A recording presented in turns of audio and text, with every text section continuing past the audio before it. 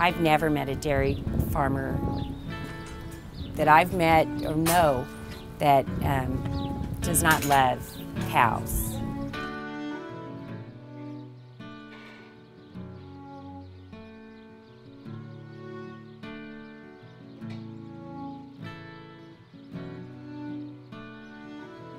Nutrients are very valuable to healing the body and we also saw that in our calves, in our calf program. We had to do things 100% right there nutritionally with the calves, and if we miss it on the calves, it will show in their health. That's your future. Your, your kids are your future, your dairy cat, your calves are your future, and that's where things head that way. And I've learned over the years that you want to take care of those calves.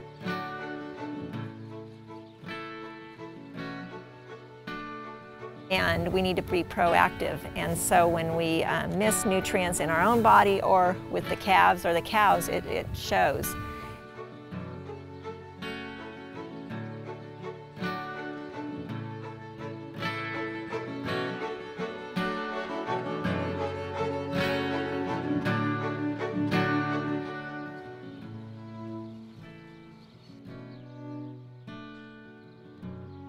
We're dependent on the cows. Uh, we've got a symbiotic relationship going where they depend on me for their feed and for their you know, housing in the wintertime, and, and I depend on them.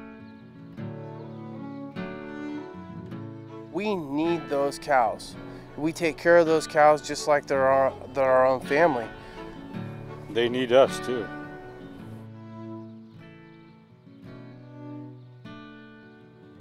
I actually designed this barn we have cameras located in the barn here so we can watch this 24-7. We have the high haunch height for a lot of uh, air movement.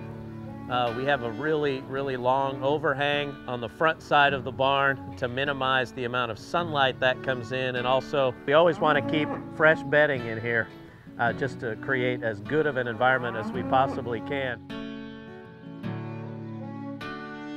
Uh, we spent about six, seven years designing this facility, and most of that time was spent designing, coming up with concepts, looking at innovative ideas that all deal with cow comfort.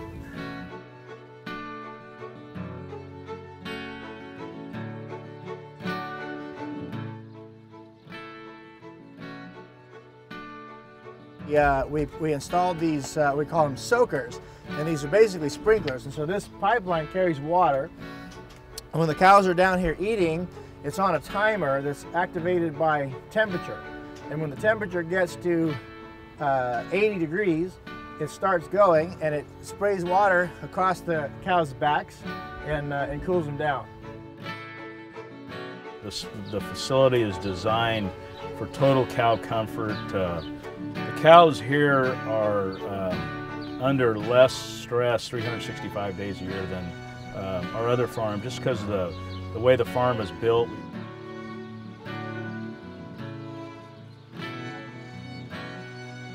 But you can see this is a 2,200 cow dairy and look, the cows are like a bunch of pets, you know, they're, they're treated, they've actually, you know, it's, uh, uh they've actually gotten almost tamer and calmer since they've been at this farm. Really? Yeah, and it's, I think it's a tribute to the way this barn works and, the, and my employees, the way they treat the animals. Comfortable cows. We give them a nice, flat, dry, fluffy spot to lay down in every day after they return from the milking parlor.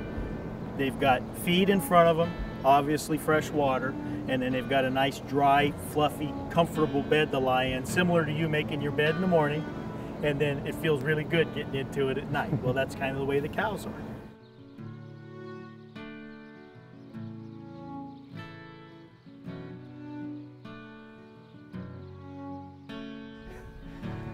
Uh, I, all I know is what we do and what we what we do in our farm here, and uh, we try and we try and, and and make a as comfortable setting as we possibly can and uh, environment for our cows. And uh, I think uh, seeing is, is, is, is the proof of the pudding. And, and, if this brown Swiss look that's looking at you right here is, uh, is not having a good life, well, I don't know who is. I'll tell you that right now.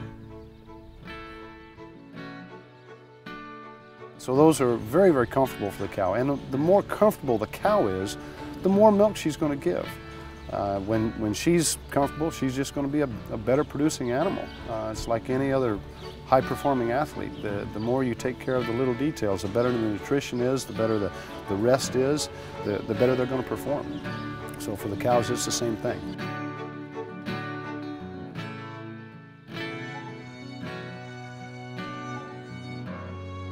We have to take, you know, we, we take care of them because we, we love those animals. If we didn't like them, we wouldn't be in the business, you know because there's, you know, I, like, like me, I start at four in the morning and, and I go all day long. And so if I didn't, didn't care about my cows or something, I wouldn't be in this kind of business, you know.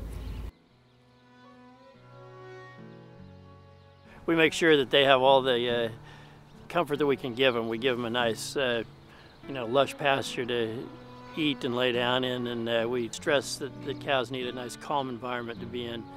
And uh, so if the cows are handled well, then they treat us well too. They, they milk more and uh, we can pay our bills and maybe have a little left over at the end of the day.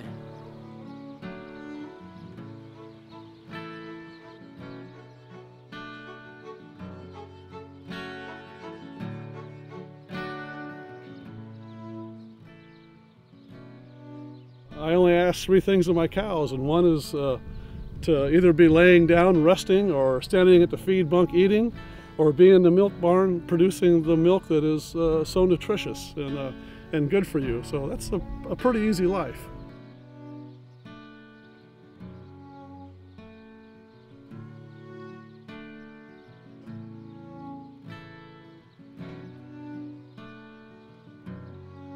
We don't have, we don't have animals being abused. They, they want to throw that out too. What we have is a situation where people just flat don't want to see animals confined.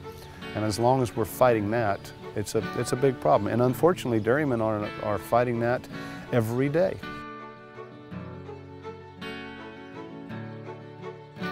I mean, there are people who obviously have something to gain by saying that. But, you know, I invite anybody in the world who wants to come here and, and, and find out for themselves if these cows are stressed, overfed, you know, forced to do anything that they don't want to do, and you know they can they can see for themselves.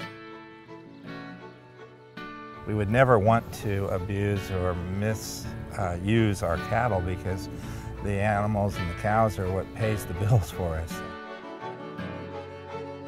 There's nothing more important. Uh, you need to keep them comfortable. You need to keep them well fed. They need to be managed properly. Uh, if they're not managed properly, there's no way they can reach their potential. You know, people need to understand that for us to be successful in our livelihoods out here, we have to take care of the cows. Would there be any reason or cause for you to treat a cow inhumanely? Only if you're stupid. Uh, and stupid dairymen don't last very long.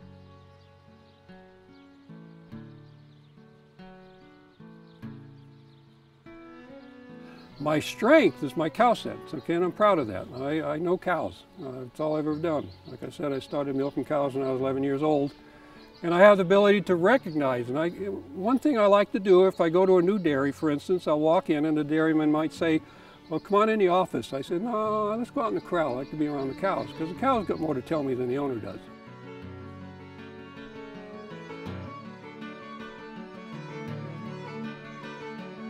That's a good term. It's cow sense. And, and that pertains to many things on a dairy. Well, I wouldn't put the cows in any situation that I wouldn't want to be in. They're definitely going to be, you know, just like your pets. And we got a few cows that we actually have to walk ahead of them and they follow you. You don't push them. Did you hear any cows bawling? Eh? No. You don't. So my cows are happy. My cows are really satisfied out there. Yes, they are. we wouldn't be dairymen, and I wouldn't be a dairyman if I didn't like cows. And you have to love cows to want to get up and work seven days a week with cows. And the more comfortable you can make a cow, and the more the more uh, healthier the cow is, the better she's going to produce milk, the better quality milk she's going to produce, and we make our living selling milk.